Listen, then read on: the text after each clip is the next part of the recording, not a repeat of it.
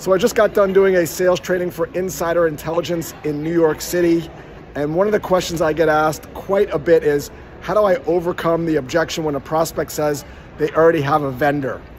Uh, here's the thing we have a vendor for that is not an objection, it's the truth. No matter what you sell, your prospect is getting the job done when you reach out. They're getting from point A to point B, they're making progress. So, to loosen your prospect's grip on the status quo, you have to have a hypothesis about something they want but don't have.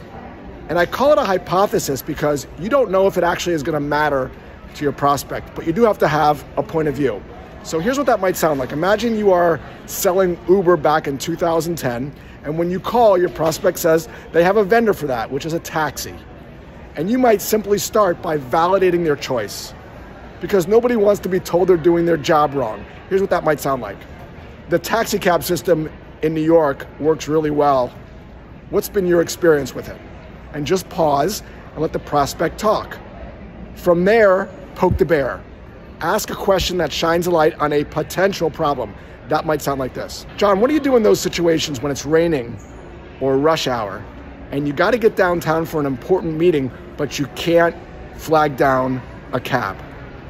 And then shut the front door and listen. What you typically hear when you ask a question like this is your prospect pausing for a little bit because you're asking a question that's a little difficult to answer. They scratch their head and they think, hmm, I'm not sure, what do you mean? And now you've created an opening. From there, you can simply say, You've probably heard of Uber. One of two things will happen when you ask that question I have or I haven't. If they say, I haven't, you can simply say, Well, with Uber, you press a button and in 15 minutes, a car takes you to where you want to go without you having to take out your wallet. And they might say, How does it work? And then you can ask for the meeting. If they say, I have heard of it, you can simply say, Oh, it sounds like the value wasn't there for you. Or it sounds like Uber wasn't a fit for you. And then again, shut the front door and listen.